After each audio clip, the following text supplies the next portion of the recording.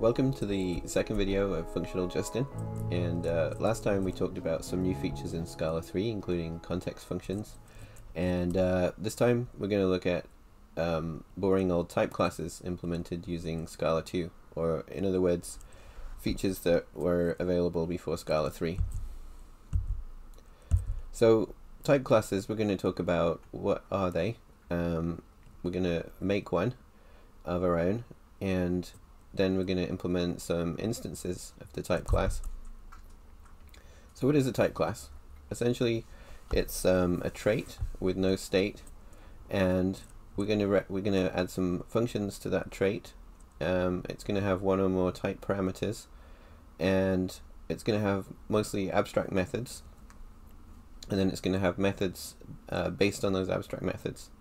So that probably all sounds a bit abstract, but essentially type classes give us a way to describe a behavior um, for a data type. And the data type might be one that we don't control because it's in a library or something like that. So we can make um, functions that are polymorphic based on the data type uh, just by implementing instances of that type class for the data type. Uh, finally, before we get started on the coding, uh, we can talk about coherence. So type class coherence means that you should only have one implementation of um, the type class for each data type. So you shouldn't be able to change which inputs you use and change the behavior of the program because that can cause confusion. Um, in general, if you change the constraints of a function, it shouldn't change the way the function behaves because uh, it makes it impossible to reason about your program. So let's see a practical example of a type class. So we're going to implement the numeric type class, which is something you'll find in the Scala standard library, just as an example because it's uh, small enough to code it up in 10 minutes, but it's also interesting enough that we can do something with it. So what we'll do is we'll write the numeric type class and then use it in my expression evaluator from last week's video so that we can work with more numbers than just integers, just uh, just Scala ints anyway. So what is a type class? Um, it's something that has a type parameter and it's usually defined in Scala as a trait and the trait itself describes the interface for the type class so it describes the kind of behaviors that the type class can do and the parameter t describes the type of thing that we're going to do the thing on. Right, so once we've defined the type class interface, we can then define instances of that type class that we can then use in our programs. So then we're going to add the um, add function. So this gives us the ability to add numerics together. And this is something that the expression evaluator needed. And the other thing it needed was multiply because we didn't really add a lot of different uh, arithmetic operators. So these are examples of type class methods. So every instance of the type class will have to implement these because these are abstract, right? They don't have an implementation. And another thing that type classes may have is generalized methods. So things that use the uh, provided uh, abstract functions to derive more interesting functions.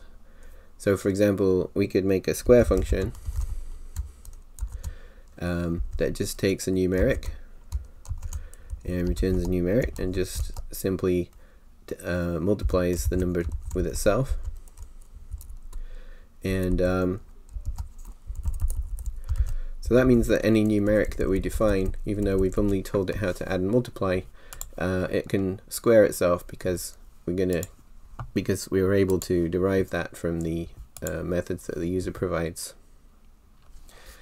Alright, so the next thing we want to do is make an instance of the type class. So we'll implement integer first. So in order to do that, we're just going to make a uh, int numeric, and it's going to have type numeric for type int, specialized for int, and we can create it like this.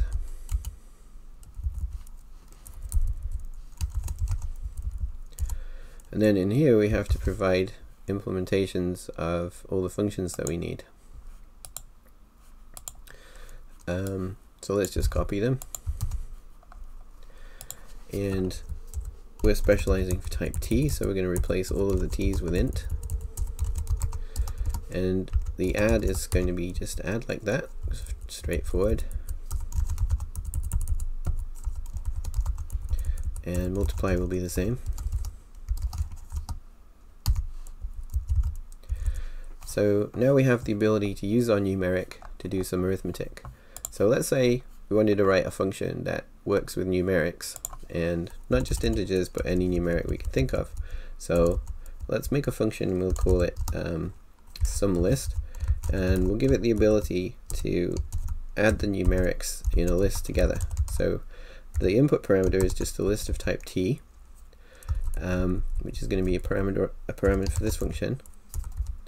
And then we're going to also need in scope an implicit value of type numeric for for type t, right? So numeric specialized for type t, and this is going to return a type t. Um, so what this function will need to do is just do a, a fold, um, or rather we can just reduce over the over the list, and we're going to take each value and add them together using the numeric.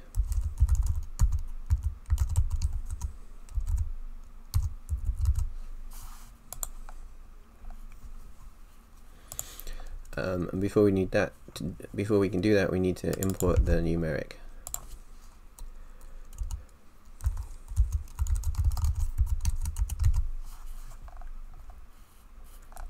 So there we go. Now if we make a simple list of numbers, and then we can get the sum of that list using our new function.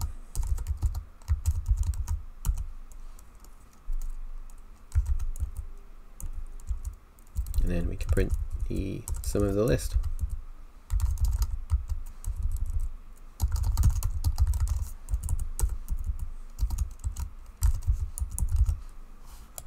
Okay, so we can go ahead and run that. And you can see the sum of the int list is 10. Okay, and just to demonstrate that we can do more interesting things, how about we make our new number type, which is made of strings.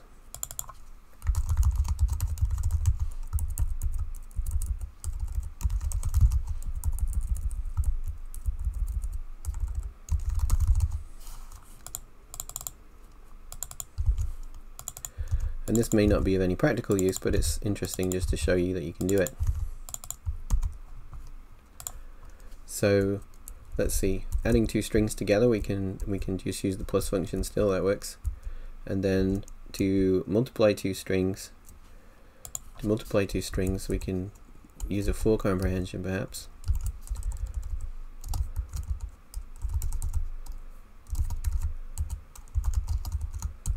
So we're going to take each element of the um, first string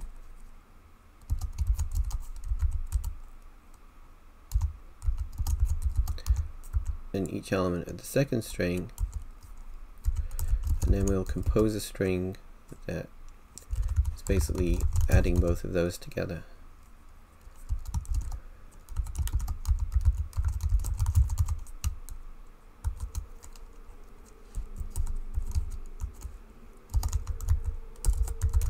Then we'll return S. We don't need that second bracket.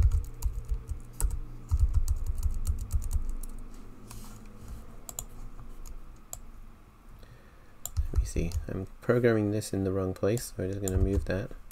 So this should go back to what it was.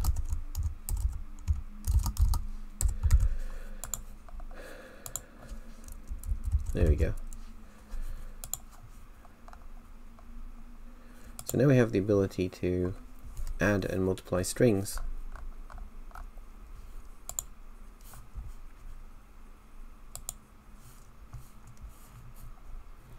It looks like I might have messed up the braces somewhere. So that one ends there. Okay, so that's fine. And now what we're going to do is just take this example and do it with lists instead. So or in fact what might be easier to see is I'll just take two strings and multiply them.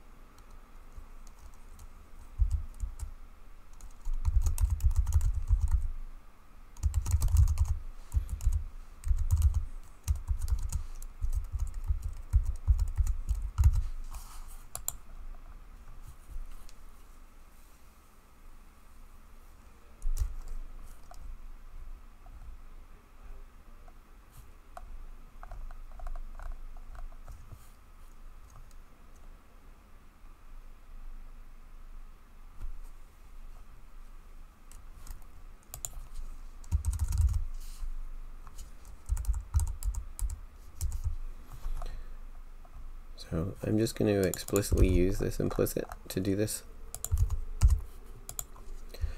And then when we run it, you'll see that it can multiply the two strings together. Um, let's use the actual multiply function. And then we'll print the product as well.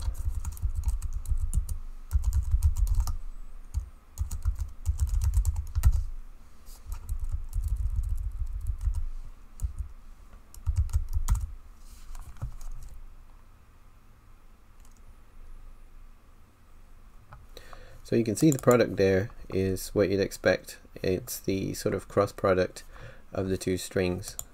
Alright, so we've specialized numeric to do arithmetic with strings, uh, treating, roughly speaking, the number of characters in the string as the value of the string. Um,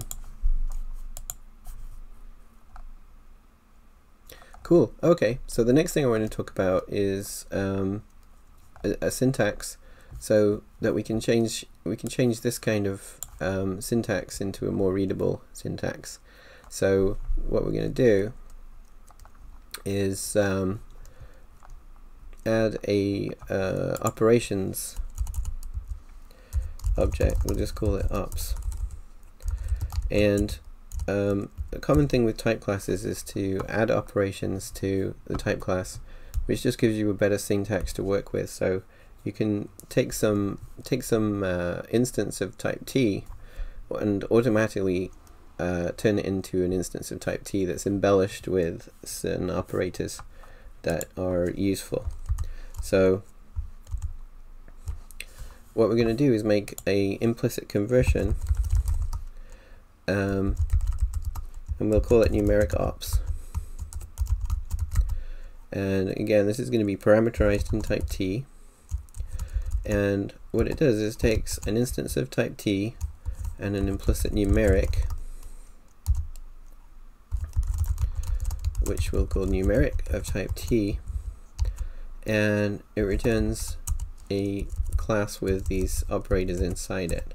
So we would like to take the add function and the add function will take the a from our input here and it will add it to a parameter b and um, the way that will work is it will call the numeric and then it will call add a and b. And we can do the same with multiply.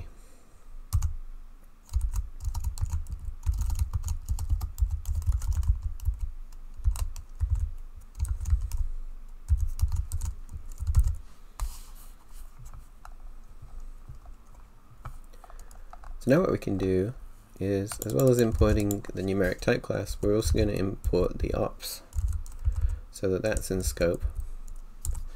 And now this syntax down here becomes a lot better because um, we can just do S1 and then it has the multiply operator on it. And then um, we can pass the parameter S2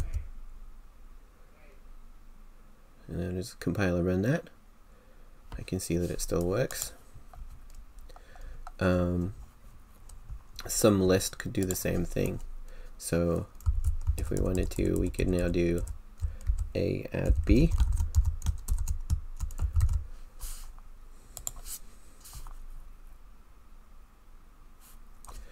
I have too many brackets, or not enough.